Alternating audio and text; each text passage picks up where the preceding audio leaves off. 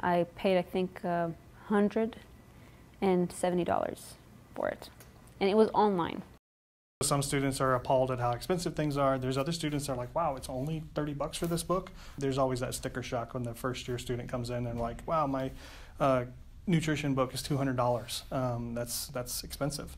It does sort of kneecap the whole idea of upward social mobility when we put these barriers in their way. One of the things that's really important is for faculty members to actually look at the cost of books.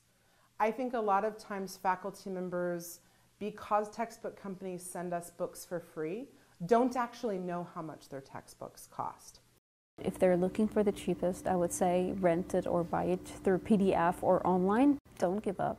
Don't just put $200 in a book.